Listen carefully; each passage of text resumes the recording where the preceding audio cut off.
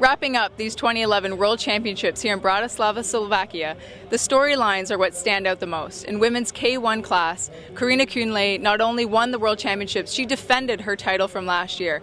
And she didn't just win, she won in style with a significant margin over second place Jana Dukatova, the local favorite. In the men's C2 class, it's only appropriate that there are two storylines that must be told. The Hochschorners, the local favorites, stood up to the pressure and finished on top of the podium, coming away with the World Championship title.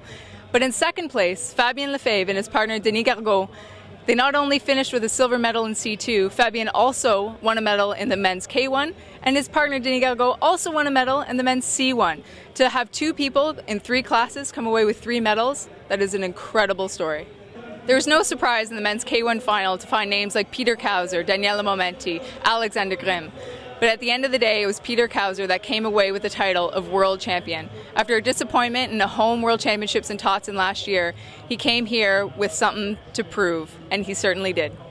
In the men's C1 class, the storyline there was certainly the changing of the guard. Since 1993, Martikán and Estanguet have stood on the podium at every World Championships. This year was certainly a changing of the guard, with Denis Gargaud from France in first place, Nico Bettge from Germany in second, and Matej Beňuš from Slovakia in third.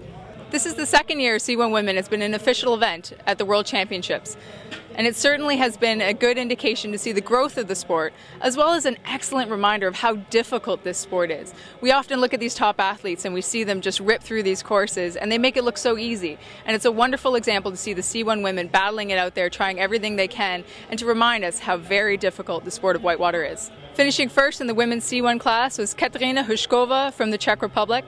In second was Nankin Shen from China. And in third was Katerina Makova from Slovakia. Thank you for tuning in to the ICF 2011 World Championships here in Bratislava, Slovakia. It was an incredible week of racing and incredible performances by athletes from a variety of countries. The storylines were immense and we're sure they will only thicken and continue to develop as the Olympics in London 2012 approach.